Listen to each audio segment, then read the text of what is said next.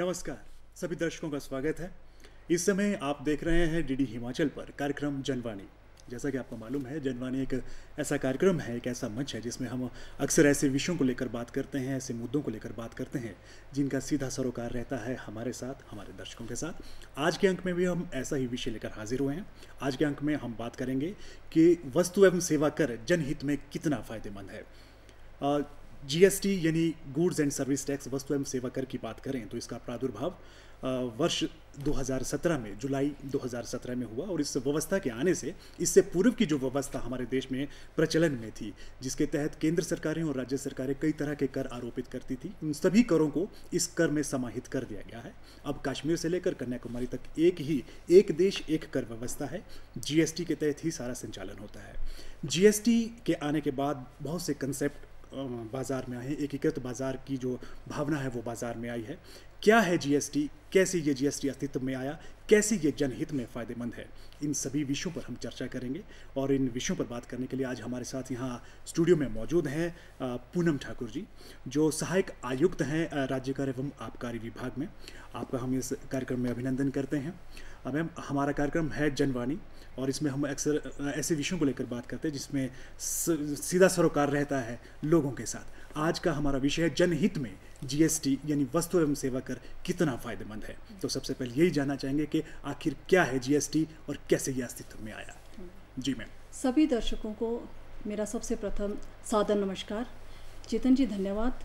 आज जनवाणी में हम बा, बात करेंगे कि जीएसटी जो है आम लोगों के लिए किस तरह से फ़ायदेमंद है। और का, जो भी करदाता हैं जो टैक्स पेयर्स हैं उनके लिए भी ये किस तरह से फ़ायदेमंद है। पहले की कर प्रणाली के मुकाबले में उसके कंपैरिजन में जीएसटी जो है किस प्रकार से ज़्यादा एडवांटेजियस है फ़ायदेमंद है? जी। हाँ जी। जी। मैम जीएसटी अगर वस्तु एवं सेवा कर की हम बात करें जैसे हमने अभी ज़िक्र किया कि ये एक ऐसी व्यवस्था है जिसमें इससे पूर्व की व्यवस्था में कई तरह के कर थे। केंद्र सरकार या राज्य स्तर स्तर पर कई तरह के कर थे जिसका समावेश इसमें कर दिया गया है और अब एक देश एक कर की जो परिकल्पना है एक कर व्यवस्था की परिकल्पना है वो जीएसटी परिपूर्ण करता है। तो जीएसटी क्या है इस व्यवस्था को कब कहाँ और किसने लागू किया? जीएसटी वस्तु एवं सेवा की आपूर्ति के लिए। जी। जो एक व्यापक बहुस्तरीय या गंतव्य आधारित एक कर मानते हैं हम जी। कि बहुत सारे अप्रत्यक्ष कर को। सम्माहित करके बना जैसे कि आपने बताया। इसके अंदर केंद्र एवं राज्य के लगभग सत्रह करों को सम्माहित करके बना। अब राज्य के कुछ एक करों को छोड़कर जो है इसको सम्माहित करके इसे बहुत ही ज़्यादा सरल और एक साधारण कर प्रणाली के तहत बनाया गया है। जी। तो एक जुलाई 2017 को संविधान में संशोधन किया गया और इसे पूरे भारतवर्ष में जो है एक संशोधन लागू करके पूरे भारतवर्ष में इसको लागू किया गया। जी। अब टी वस्तु एवं सेवा कर की हम अगर बात करें इस व्यवस्था की बात करेंगे ये किस तरह की कर प्रणाली व्यवस्था है? हाँ जी।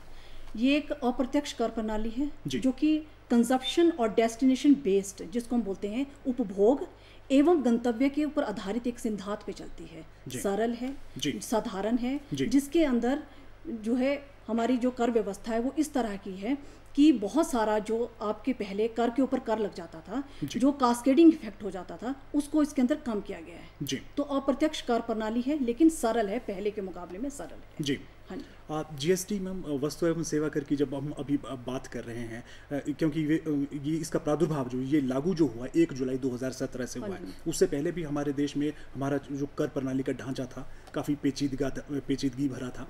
तो जीएसटी जो आया है तो इसकी ऐतिहासिक पृष्ठभूमि अगर हम बात करें कैसे इसकी विचार की संकल्पना हुई कैसे ये विचार प्रतिपादित हुआ कि एक देश में एक कर व्यवस्था होनी चाहिए उसकी ऐतिहासिक पृष्ठभूमि की अगर हम ज़िक्र करें तो क्या? जहाँ तक ऐतिहासिक पृष्ठभूमि की हम बात करें तो अप्रत्यक्ष कर प्रणाली तो व्यवस्था में शुरू से ही थी। आप देखो मुगल बादशाहों से लेके अंग्रेज़ों तक भी और उसके बाद हमारे जब स्वाधीन स्वाधीन हमारा भारत था फिर हमारी अपनी स्वतंत्रता प्राप्त होगी। उसके बाद भी 1950-60 के दशक तक अलग अलग तरह के जो कर थे वो अप्रत्यक्ष कर प्रणाली में थे लेकिन खामियाँ बहुत थी सिस्टम के अंदर।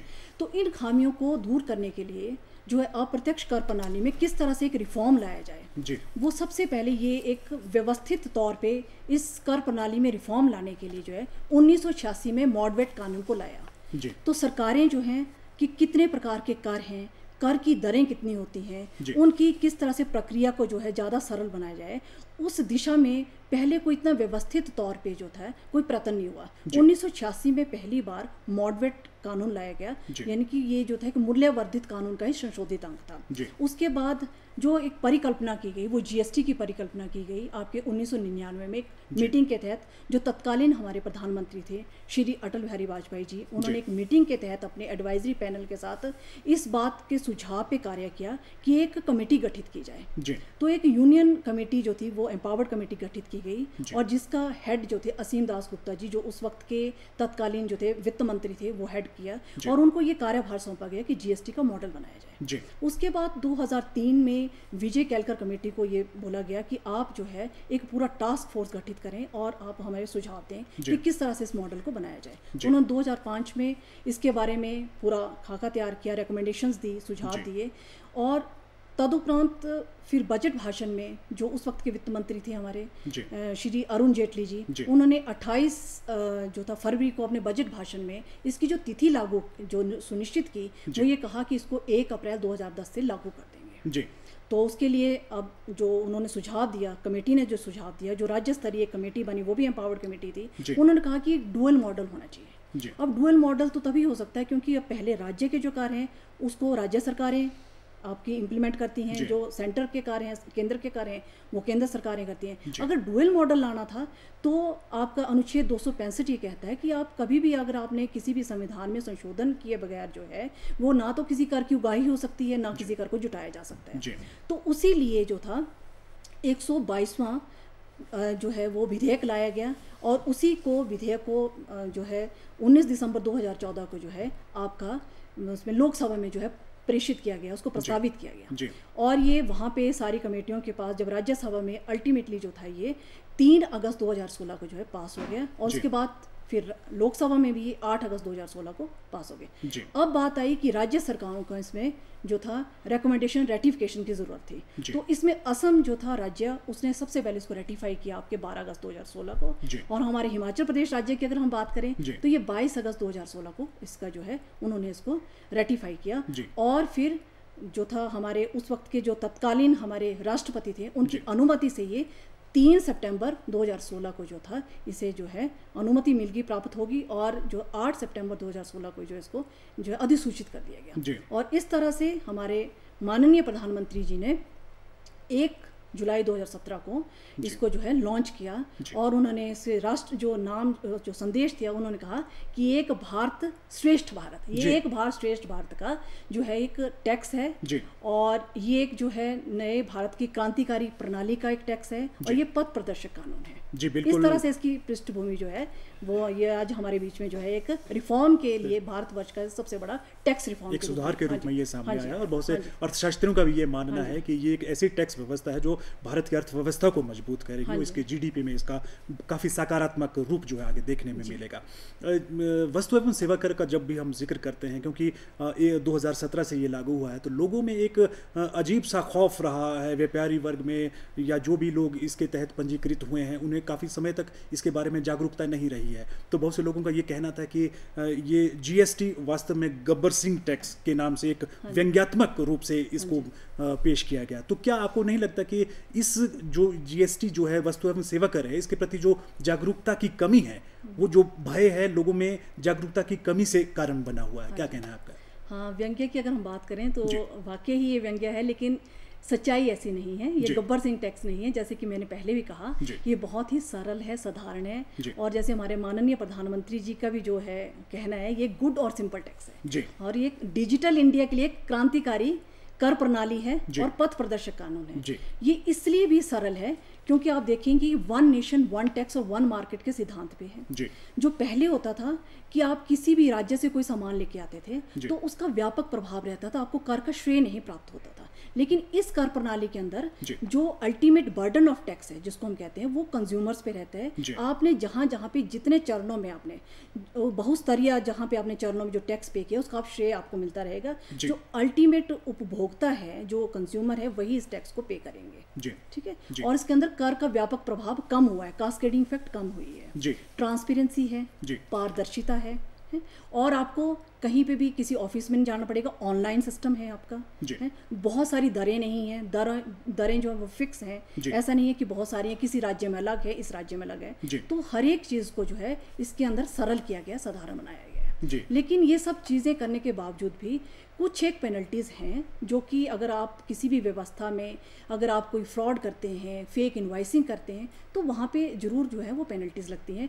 पर वो पेनल्टीज़ जो है वो तो कानून के दायरे में ही है। ऐसा नहीं है कि कोई आपकी अनुपालना कर रहा है उसके बावजूद भी आपको कोई पेनल्टी लगेगी या लेट फ़ी लगेगी। जी। अदरवाइज़ ये बहुत ही सरल और साधारण है। जी बिल्कुल अभी अ, अभी ज़िक्र किया आपने कहा कि ये बिल्कुल सिंपल टैक्स है ये गब्बर सिंह टैक्स नहीं है काफ़ी सिंपल टैक्स है।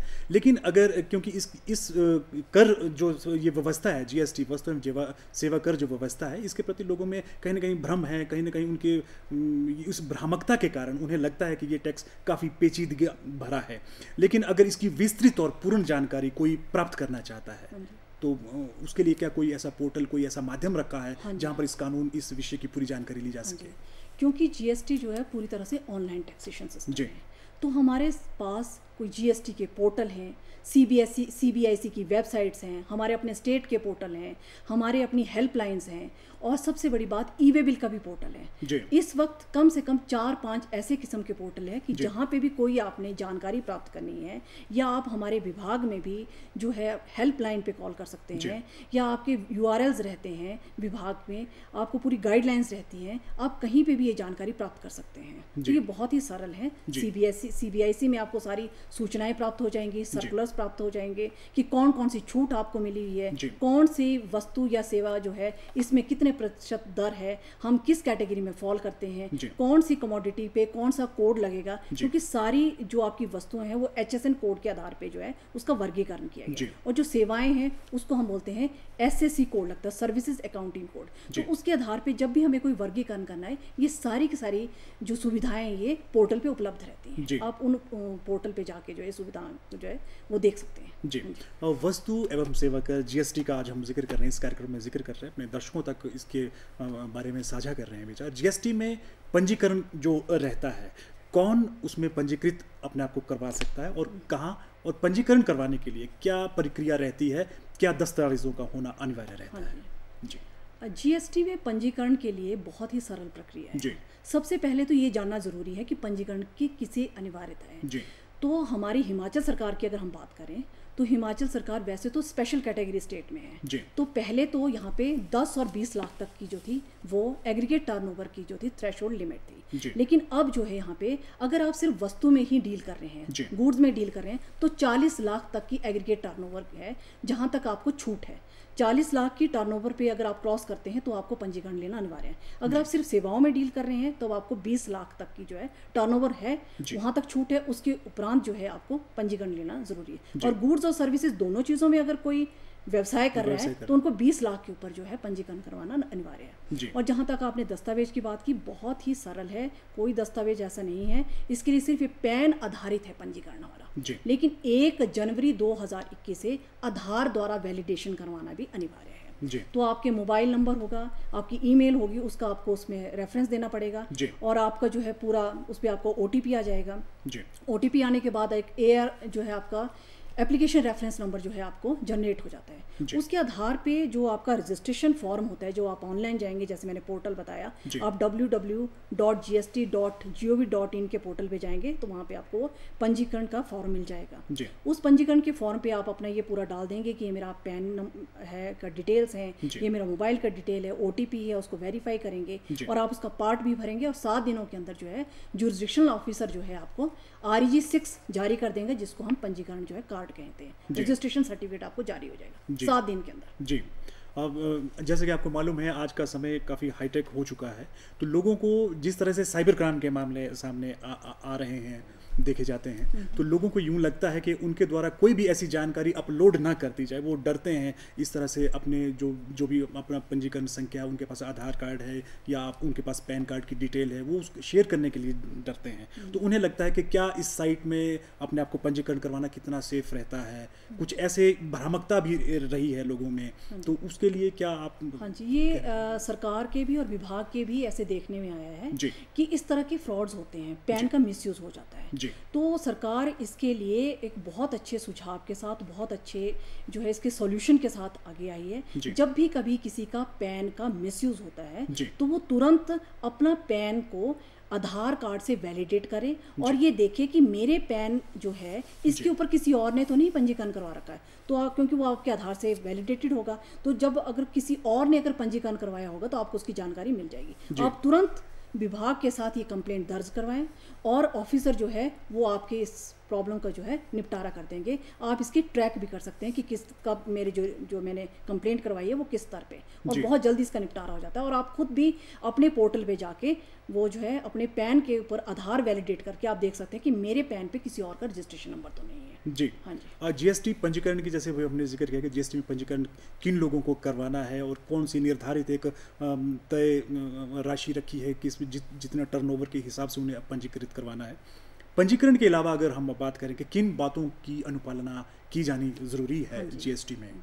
जीएसटी में पंजीकरण के बाद जो बहुत दूसरा एक सबसे अहम जिसको हम कहेंगे मॉड्यूल है वो है विवरणी भरना रिटर्न भरना। जैसे कि आप प्रत्यक्ष कर में भी देखेंगे इनकम टैक्स में भी हम अपनी रिटर्न भरते हैं। उसी तरह से जो इस व्यवसाय में है वस्तु के और सेवा के व्यवसाय में उसे भी अपनी विवरणियों का लेखा जोखा जो है देना पड़ता है रिटर्न के फॉर्म पे। वो रिटर्न आपकी मासिक भी होती है और अगर आप नॉर्मल टैक्स पेयर हैं या ग्रेजुअल टैक्स पेयर हैं लेकिन अगर आपने कोई और स्कीम के तहत आपने अपना पंजीकरण करवाया है तो आपको तिमाही में ही जो है रिटर्न भरनी पड़ती है उसका पंजीकरण करवाना। उसमें आपका कितना आपने आउटवर्ड सप्लाई की आपको कितना कर का श्रेय प्राप्त है कितने आपकी अदायगी है देनदारी कितनी है एज ए टैक्स आपको कितना है वो सारा सारा लिखा जो उसमें भरा जाता है। जी। हाँ जी वो अनुपालन करना बहुत ज़रूरी है। जी इस कार्यक्रम की जब ये ताना बाना बुना जा रहा था जीएसटी के बारे में लोगों को जागरूक करने के बारे में तो बहुत से लोग ऐसे हमारे पास ऐसे भी वो आए उन जिनके जिनके पास ये भ्रामकता रहती है कि जीएसटी में एक बार पंजीकृत करने के बाद आपको कम से कम सैंतीस रिटर्न जो सालाना भरनी पड़ती है वास्तविकता कितनी है नहीं नहीं ऐसा नहीं है। ये एक भ्रामकता है जो फैलाई गई है जीएसटी के बारे में। ऐसा नहीं है जैसे कि मैंने आपको बताया जो करदाता होते हैं वो अलग अलग कैटेगरीज के होते हैं। अलग अलग किस्म के हमारे पास टैक्स पेयर हैं जैसे normal tax payer composition tax payer casual tax payer person या टीडीएस या TCS जहाँ तक इन सारे टैक्स पेयर्स की बात है हर एक टैक्स पेयर के लिए अलग अलग जो है तरह की विवरणी का ब्यौरा उनको जो है देना पड़ता है। तो ऐसा नहीं है कि एक ही को सैंतीस किस्म की भरनी पड़ेगी एक को एक ही प्रकार की भरनी पड़ेगी। लेकिन एग्रीगेट टर्नओवर के हिसाब से मान लो कोई आपका नॉर्मल टैक्स पेयर पर्सन है और उसकी एग्रीगेट टर्नओवर सालाना जो है वो पाँच करोड़ से ऊपर है। तो उसे तो मासिक भरनी पड़ेगी और बारह माह की बारह रिटर्न भरनी पड़ेगी और सालाना एक जो है एनो रिटर्न भरनी पड़ेगी। तो उनको तो इतना ही भरना पड़ेगा। जहाँ तक आपके कैजुअल के पर्सन की बात है उसको भी मासिक वैसी भरनी पड़ेगी जो। आपके एनआरटीपी है या ओ आर हैं या अलग अलग किस्म के हैं जो। Non resident tax payer person है उनको भी मासिक ही भरनी पड़ेगी। लेकिन अगर आप किसी कंपोजिशन स्कीम में हैं या क्यू आर स्कीम में हैं तो आपने तिमाही भरनी है तो उनकी कैटेगरी जो है अलग होगी। उसको हम G S T R three भी बोलेंगे जो मासिक होगी जो आपके कंपोजिशन वाले हैं उसको सी एम पी आठ बोलेंगे। जो आपके टी डिडक्टर्स हैं जैसे आपके सरकारी विभाग हैं जो। वर्क्स कॉन्ट्रैक्टर के साथ एग्रीमेंट करते हैं उनको भी इस कर की प्रणाली में लाया गया है ताकि वर्क्स कॉन्ट्रैक्टर कितना टैक्स पे करते हैं वो सुनिश्चित किया जाए टी डी करता है। तो उनकी जो मासिक कर पर वो रहेगी विवरणी भरने की रहेगी उसको हम G S T R seven कहते हैं। और इसी तरह से जो आपके ये पोर्टल्स हैं ई कॉमर्स पोर्टल्स हैं जैसे आपने देखो ना आजकल अमेजोन है फ्लिपकार्ट्स हैं या आपके मिंत्रा है इस तरह के जो ई कॉमर्स पोर्टल्स हैं उनको सिर्फ़ टीसीएस वाले जिसमें आते हैं उनको जी जो है आठ भरनी पड़ती है। तो हर एक किस्म के अलग अलग जो करदाता है उनको अलग अलग किस्म की वो विवरणी भरनी पड़ती है। जी। हाँ आ, अगर हम इसी परिप्रेक्ष्य में बात करें आ, बड़े करदाताओं की अगर हमने बात की है कि उनको जीएसटी के तहत अपना पंजीकृत करवाना पड़ता है पंजीकरण करवाना पड़ता है जो छोटे करदाता हैं हमारे हाँ क्या उनके प्रति कोई ऐसे व्यवस्था में चल उन्हें किसी तरह की कोई छूट या किसी तरह का उन्हें भी आश्वासन दिया जा रहा हो? हाँ जी उनके जी।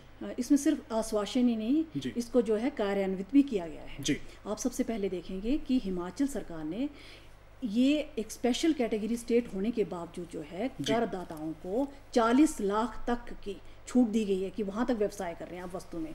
तो जैसे पहले मैंने बताया कि पहले 10 और 20 लाख थी अब 40 लाख तक की छूट दे दी गई है। जी। और उसके बाद जो है पंजीकरण की अगर हम बात करेंगे तो एग्रीगेट टर्नओवर के आधार पर होगी। जी। तो उसके बाद अगर कोई डेढ़ करोड़ तक का व्यवसाय करता है उसको कंपोजिशन स्कीम वो अप्लाई कर सकता है उसके जो है उसका फ़ायदा उठा सकता है। और पाँच करोड़ तक की एक नई स्कीम है जिसको हमने Q R M P scheme बोलते हैं? क्वार्टरली रिटर्न फाइलिंग और मंथली पेमेंट स्कीम। इसके अंदर जो आपका विवरणी है वो आपने तीन माह में एक ही बार भरनी है। जैसे आपके कंपोजिशन वाले हैं। लेकिन कंपोजिशन के लिए जो रहेगी थ्रेश होल्ड लिमिट जो टर्नओवर लिमिट है वो डेढ़ करोड़ है। लेकिन पाँच करोड़ तक वालों के लिए भी काफ़ी छूट प्रदान की गई है और वो भी एक तीन माह में एक रिटर्न भर सकते हैं। जी। हाँ तो दो स्कीम जो बहुत ही महत्वपूर्ण है। जी अब बिल्कुल जीएसटी व्यवस्था के तहत बहुत जानकारी आप दे रहे हैं। जीएसटी व्यवस्था में ये जानना बहुत लाजमी हो जाता है कि वास्तव में जीएसटी व्यवस्था में कितनी दरें हैं। हाँ जी इसमें हाँ जी GST इसमें एक तो छूट प्रदान की है तो जिसको हम एग्जाम्प्टेड बोलेंगे ज़ीरो रेट बोलेंगे। जी। उसके बाद आपकी पाँच प्रतिशत है बारह प्रतिशत है अठारह और अट्ठाईस प्रतिशत की दर है। जी। हाँ जी। ये ये जो दरें आपने अभी जिनका ज़िक्र किया है ये किस दर में कौन सी वस्तु आएगी हाँ या किन वस्तुओं को जीएसटी के तहत एग्ज़ाम किया गया उन्हें विशेष रूप से छूट दी गई है इनका निर्धारण किस तरह से किया जाता है? सरकार ने जो रोज़मर्रा की आपकी चीज़ें हैं अनब्रांडेड आपके फ़ूड। मटेरियल्स है आपका जैसे दूध है ब्रेड है अखबार है कॉन्ट्रासेप्टिव्स है इस तरह की जो वस्तुएँ हैं उसको एग्ज़ाम कैटेगरी में दैनिक उपयोग में जो हाँ होने वाली जो दैनिक ज़रूरत हाँ जी। और जहाँ तक सर्विसेज़ की बात है आपकी हेल्थ सर्विसेज़ है एजुकेशन है आपकी या आपकी लीगल सर्विसेज़ है इनको इन सर्विसेज़ को जो है एग्ज़ाम कैटेगरी में रखा गया ज़ीरो प्रतिशत इसके ऊपर जो है कर लगता है। उसके बाद आपके पाँच प्रतिशत में जो है आपके एफएमसीजी प्रोडक्ट्स हैं और या चाय है आपकी कॉफ़ी है इस प्रकार के जो वस्तुएँ हैं उनको पाँच प्रतिशत में रखा गया। या आपका होटल का खाना है अगर सर्विसेज़ की हम बात करें तो रेस्टोरेंट का जो खाना है उसको पाँच प्रतिशत में रखा गया इस तरह की सर्विसेज़ बारह प्रतिशत में आपके जैसे रोज़मर्रा की चीज़ों में अगर आप बात करेंगे जैसे जैम है जेली है या और कोई प्रोडक्ट्स है उसको बारह प्रतिशत में रखा गया है। और अगर आपने होटल के रूम्स में है तो अगर वो हज़ार रुपये से ऊपर के कमरे हैं पचहत्तर सौ तक के तो उसको बारह परसेंट की कैटेगरी में जो दर में जो है वो रखा गया है। हाँ जी। और 18 प्रतिशत में सारी सर्विसेज़ जो है लगभग सारी सर्विसेज़ आपकी जो है वो 18 प्रतिशत में आती हैं। जी। ठीक है जैसे आप प्रसार भारती की अगर हम बात जी, करेंगे जी, जी। तो प्रसार भारती अगर कोई सर्विसेज़ दे रहे हैं वो 18 प्रतिशत में आएगा। जी। और जहाँ तक आप वस्तु की बात करेंगे तो वस्तु में आपकी जो चीज़ें हैं जैसे सीमेंट सीमेंट तो अट्ठाई प्रतिशत में आ जाएगा। भवन जैसे निर्माण की हाँ जी, जो हाँ जी। वस्तुएँ हैं। हाँ जी लेकिन अट्ठाई प्रतिशत जो है वो सबसे हाईएस्ट रेट है। इसके अंदर आपके जो है एरिएटेड ड्रिंक्स हैं तंबाकू हैं जो। हमारे डीमेरिट गुड्स हैं उसको अट्ठाई प्रतिशत में रखा गया है। और कुछ एक ऐसे प्रोडक्ट्स भी हैं कुछ ऐसे उत्पाद भी हैं जिनके ऊपर सेस भी लगता है। जी एक महत्वपूर्ण सवाल का बोला जाना बहुत ज़रूरी है कि ई वे बिल जीएसटी व्यवस्था में ई वे बिल कितना महत्वपूर्ण है? क्या है ई वे बिल? हाँ जी। जी मैम। ई वे बिल जो है ये एक इलेक्ट्रॉनिक डिक्लेरेशन है एक डॉक्यूमेंट है। जी। जब भी कभी कोई सामान पचास हज़ार से ऊपर कोई टैक्सेबल सामान जी। है और उसको गाड़ी से ले जाया जा रहा है जी। तो उसका जो है इलेक्ट्रॉनिकली उसको डिक्लेयर करना बहुत ज़रूरी है। क्योंकि जी। आपने देखा होना कि जीएसटी के आने के बाद जो आपके बैरियर्स हैं वो हटा दिए गए। तो अब हमने चाहे वो आपके इंटरेस्टेड मूवमेंट है चाहे इंटरस्टेट मूवमेंट है। जब भी कभी टैक्सेबल सप्लाई की पचास हज़ार से ऊपर टैक्सेबल सप्लाई की जब भी कोई मूवमेंट होगी उस पर ई वे बिल का डिक्लेयर करना अनिवार्य है। और ये एक अप्रैल दो हज़ार अठारह से इसको लागू किया गया है। जी ई वे बिल को कौन जारी करता है? ई वे बिल आपकी तीनों पार्टियाँ जो है इसके रिस्पॉन्सिबल रहेंगी जैसे आपके चाहे सप्लायर हैं चाहे आपके ट्रांसपोर्टर हैं चाहे आपके रिसिपिएंट जी। हैं पर वैसे चलने से पहले ही जब कमेसमेंट ऑफ़ आपकी मूवमेंट होती है गुड्स की वस्तुएँ जब चलती हैं उसी वक्त सप्लायर या ट्रांसपोर्ट ने इसको चीज़ को जो है वो निर्धारित करते हैं सुनिश्चित करते हैं कि ई वे बिल बनाया जाए। जी लोगों की अक्सर ई वे बिल को लेकर ये जहन रहता है कि जब एक बार ई वे बिल बनता है तो उसको अपने गंतव्य गंतव्य तक पहुँचने के लिए कितना समय लग रहा हाँ है उसका निर्धारण कैसे किया जाता है? हाँ जी पहले इसके लिए जब इसको शुरू किया गया तो एक दिन के लिए जो था इसमें 100 किलोमीटर के लिए एक दिन के लिए जो थी इसकी वैलिडिटी की व्यवस्था की गई। लेकिन 1 जनवरी 2021 के बाद 200 किलोमीटर के लिए एक दिन की वैलिडिटी दी गई। लेकिन ऐसा नहीं है। अगर कोई ऐसे आपके अनएवॉइडेबल सर्कमस्टांसेस हो जाते हैं जैसे मान लो कोई नेचुरल क्लैमिटी हो जाती है या गाड़ी का ब्रेकडाउन हो जाता है उस दिशा के अंदर या उस दशा पे जो क्या है वो ट्रांसपोर्टर या सप्लायर जिसने भी उस ई वे बिल को बनाया है वो चार घंटे उस एक्सपायरी डेट से पहले और चार घंटे बाद तक जो है ई वे बिल की वैलिडिटी को जो है एक्सटेंड कर सकते हैं। उसके अंदर जो है कारण बताना पड़ता है और उसको एक्सटेंड किया जा सकता है। अदरवाइज़ 200 किलोमीटर के लिए एक दिन की वैलिडिटी है इसकी। जी। हाँ जी। जिसने अपना पंजीकरण जीएसटी में करवाया है तो क्या उसको ई वे बिल के लिए भी पंजीकरण करवाना अनिवार्य है? पंजीकरण तो जो है वो जीएसटी में एक बार आपका जीएसटी बन गया।